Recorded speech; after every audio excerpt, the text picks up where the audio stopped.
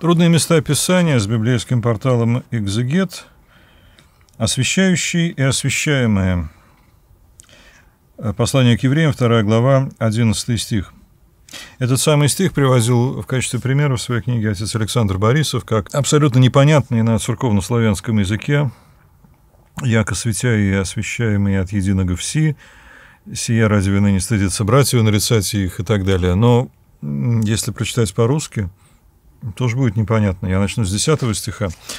«Ибо надлежало, синодальный перевод, ибо надлежало, чтобы тот, для которого все и от которого все, приводящего многих сынов в славу, вождя спасения их, совершил через страдания».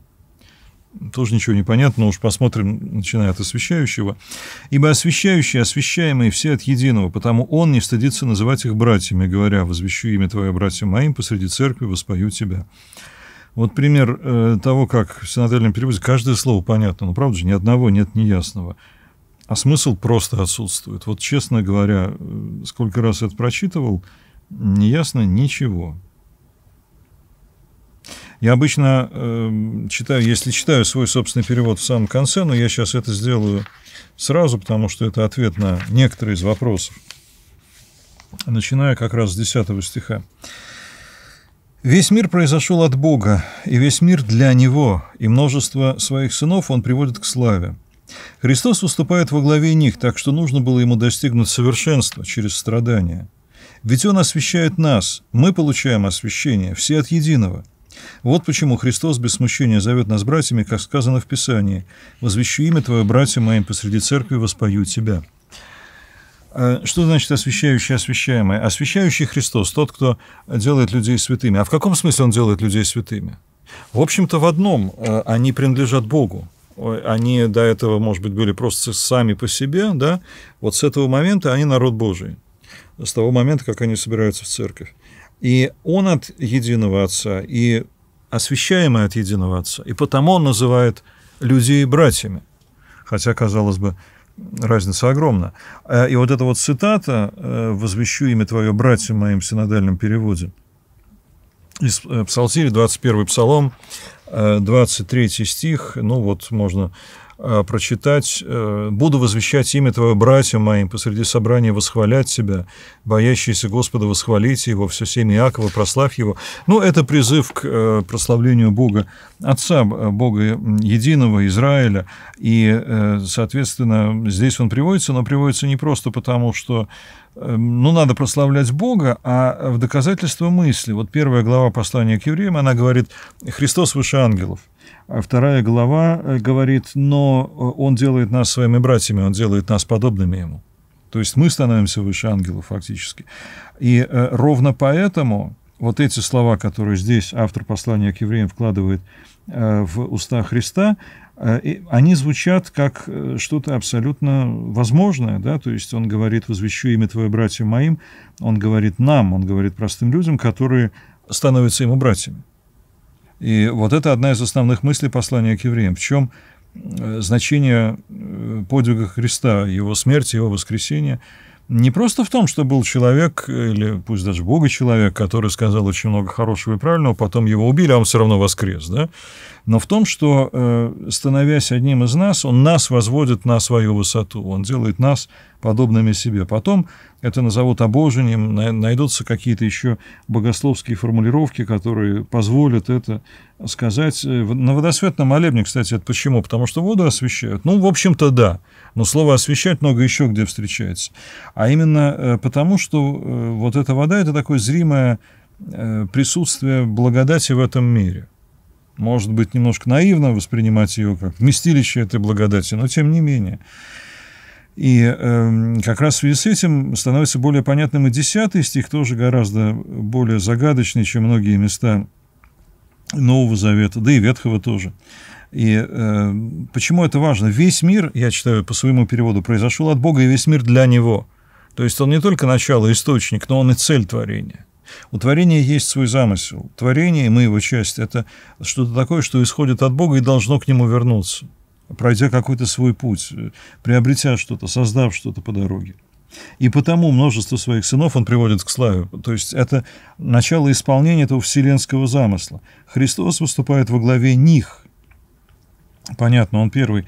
Так что нужно было ему достигнуть совершенства через страдания. Звучит немножко странно. Можно перевести иначе. Например, Бог совершил их спасение через страдания Христа, в котором все берет начало. Но э, страдание становится некой частью совершенства. Что же хорошего в страданиях? Абсолютно ничего. А причем же здесь совершенство? А, ровно при том, что э, страдая Христос становится причастен страдающему миру, страдающим людям. И э, тогда эти люди становятся причастными ему. То есть э, страдание не бессмысленно. Страдание, о котором очень часто спрашивают, где был Бог э, в Освенциме, в Беслане. Ну, очевидные вопросы. Вот дети, которых мучают, ужасно мучают, убивают, которые совершенно точно не греховны до такой степени, чтобы этого заслужить. А где был Бог? И, в общем-то, единственный ответ, который можно сказать, он был с ними, он тоже страдал. И э, крест – это зримое свидетельство этого страдания. И тогда получается, что эти страдания, они не бессмысленны, при том, что они ужасны, при том, что никому никогда их нельзя желать, но, э, тем не менее, они э, что-то такое, что открывают для человека единение со Христом. И он не стыдится называть их братьями. Тогда получается, что освящение – это не какой-то обряд, как, скажем, освящение воды да, в водосвятном молебне, а э, освящение – это причастность Бога, причастность Христа этому миру, причастность жизни людей, соучастие в их страданиях, и тем самым э, возвышение этих страданий, придание им какого-то смысла – что, может быть, совсем не утешает тех людей, которые видят это страдание, особенно если страдают их родные и близкие, или они сами тем более, но э, что, может быть, заставляет нас задуматься. Вот в страданиях самая страшная бессмысленность. Ну, помимо физической боли непереносимой или моральной, а душевной боли тоже часто непереносимой. Самое страшное, как э, говорили люди, прошедшие, например, через концлагеря, Эм, что на фронте солдат тоже мерзнет, голодает, тоже подвергается опасности быть убитым, терпит всевозможные лишения, часто раны получает. Но он понимает, что он сражается с врагом. Он видит победу. А заключенный в концлагере, он терпит все то же самое без видимой причины. Он просто это терпит. И э, вот люди, которые через это прошли, они говорили, что бессмысленность этих страданий была для них, пожалуй, тяжелее всего. Можно терпеть, когда ты понимаешь, что ну, ну бой мы выиграли, да, там, Пусть я ранен, пусть я голодный, пусть я продрог, но, но мы выиграли бой. А здесь мы ничего не выиграли, нас просто замучили. И, э, может быть, вот эти слова про освящение, которые стоят рядом со словом страдания, их очень легко интерпретировать в таком дешевом духе, дескать, ну ничего, страдает, и тебе там на страшном суде зачтется, да, тебе там вычтут из твоих наказаний вот ту долю страданий, которые ты получил в этом мире, тебе, ты авансом как бы расплатился, да. Нет, э, нет здесь такого даже близко, но э, страдая, ты понимаешь, что ты не один. Ты видишь его рядом с собой. Может быть, это единственное, что вот здесь на самом деле для нас важно. Но, конечно, конечно, здесь сказано гораздо больше. И э, Христос как первый человек, как тот, кто ведет за собой остальное человечество, чтобы оно изменилось. Вот это может быть основной смысл этих слов. Внеси свой вклад, оцени, подпишись и поделись этим видео.